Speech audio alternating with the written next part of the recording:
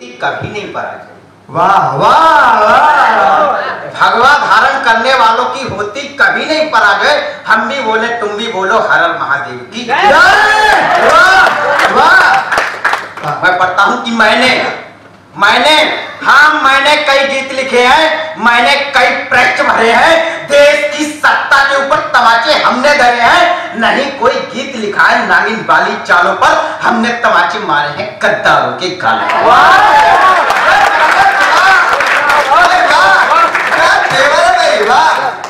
हमने तमाचे मारे हैं गद्दारों के गालों पर। कभी कलम ने मेरी दरबारों का बंधन नहीं। कभी कलम ने मेरी दरबारों का बंधन नहीं किया जिस जिसने भारत लूटा सबको डाकू बोल दिया जिनकी कलम बिकी गीत गाती हो रहा दरबारों में लेखनी बेच पर जाते हो मंचों के व्यापारों में भाई। बढ़िया, वाह।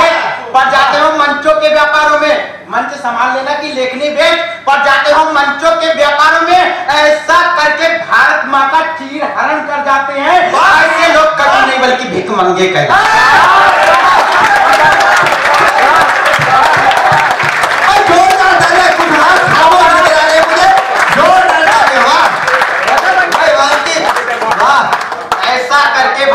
का चीर हरण कर जाते हैं।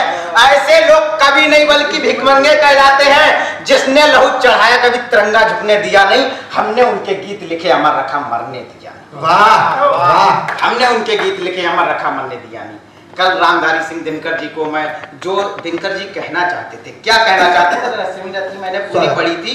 आखिर मैंने उसमें क्या देखा? वो कर्ण की वीरता का व्याख्यान नहीं करना चाहते थे लेकिन वो सही भारत में कहना क्या चाहते थे? उनकी चार पंक्तियाँ मैंने कहीं निवेदित की हैं। मैं चार पंक्तियाँ उनकी रखता हूँ और देखूँगा कि आप लोग मेरे उस तेवर को सुनेंगे या नहीं कि तेजस्वी तेजस्वी सम्मान खोजते नहीं गोत्र तेजस्वी सम्मान खोजते नहीं गोत्र बतलाकर पाते हैं जग में प्रशस्ति अपना कर्तव्य दिखाकर।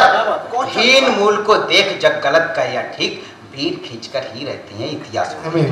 वाह भाई वाह लाजवाब है वाह। तब पढ़ता हूँ कि आरक्षण उसे मिलता था। आरक्षण उसे मिलता था जो होता इसके लायक था। आरक्षण दिलवाने वाला अंबेडकर जननायक था। अब तो आरक्षण लूट रही बस नौकरियों की होड़ की। आरक्षण से मिल जाती छूट डिग्रियों की दौड़ की। आरक्षण से मिल जाती छूट डिग्रियों की दौड़ की। आरक्षण लूट लूट कर अपने देश को ही खा गया। टाप कर बैठा घर फेल सरकारी नौकरी पा गया। भाई वाह। टाप कर बैठा घर फेल सरकारी नौकरी पा गया आरक्षण जब मान्य हुआ था देश की परंपराओं में यह मिलना चाहिए था। केवल अंबेडकर के गाँव में पूरा सदन संभाले कि ये मिलना चाहिए था।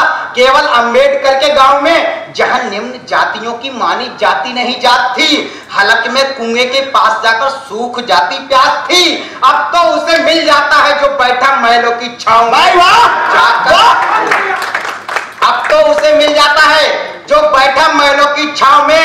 जाकर देखो कितने अपाहिज रहते मेरे।